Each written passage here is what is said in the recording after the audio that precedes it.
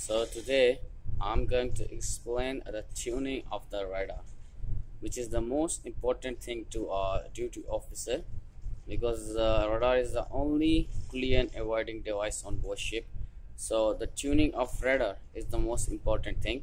So now here you can see as uh, I have radar on standby mode. Gain is 0 sea clutter is 0 and rain clutter is 0 and the tune is auto. So you must see these things before you uh, go for tuning. That tuning is auto and uh, there are some gain and other things are uh, up to your requirement. The requirement is mostly the gain should be in between uh, for best result it should be in between 55 to 65 uh, must not be too much. Uh, it, it will give, bring some false echoes that will uh, create a problem for you to identify.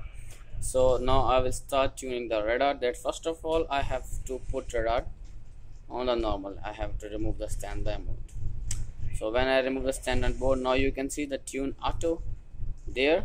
Tune auto it is showing that it is tuning on auto. So now I will increase the gain I will make it around 62 63 so now the targets are start showing and uh, you can see that uh, there is echo around my ship also now.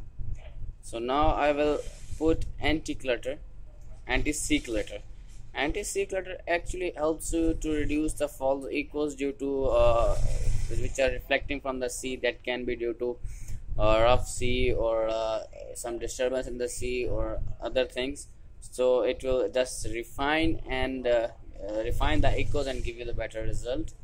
So just keep it a little. Up till the sea clutter should be adjusted somehow that this uh, echo around uh, your vessel should be kept shown. If this if you increase the clutter too much you will see that it will diminish some of the uh, it will remove the some of the echoes that can be a small boat or small target and they will be removed. Weak echoes will be removed. So just keep uh, sea clutter uh, so uh, up to a range that uh, it will keep showing around your ship some of the echo. This will help you identify and uh, some of the weak echoes will not get uh, removed or will still be shown on the radar.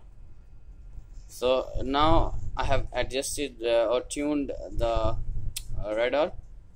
And uh, the tuning is on auto gain is 63 sea clutter is 13 and the rain I haven't put the rain because it is mostly for when uh, there is some rain or whenever you are in port and you are uh, going for uh, or you have departure of the vessel you can turn on the rain little because it what it will do it, it will diminish the extra echoes of uh, buildings around you help you to uh, uh, to make uh, whatever you are saying more clear.